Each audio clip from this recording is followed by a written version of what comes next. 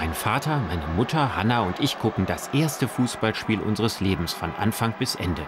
Gut gegen böse. Gleich sechs Bayern sind auf dem Platz und der ganze Stolz der BRD.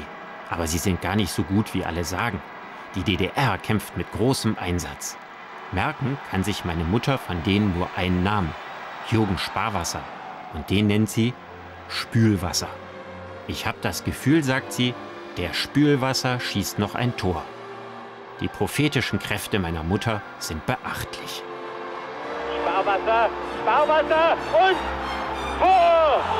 Jürgen Sparwasser aus Magdeburg.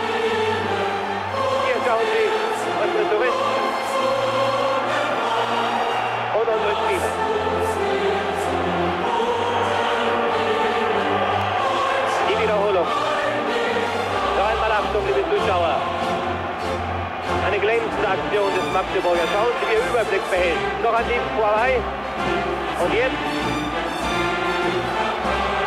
wie er sich die Schussposition schafft, überlegt und vollendet.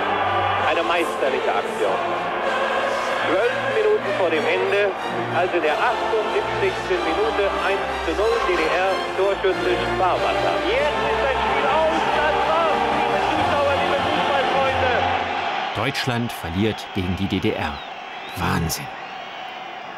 Der DDR-Sieg macht alles anders.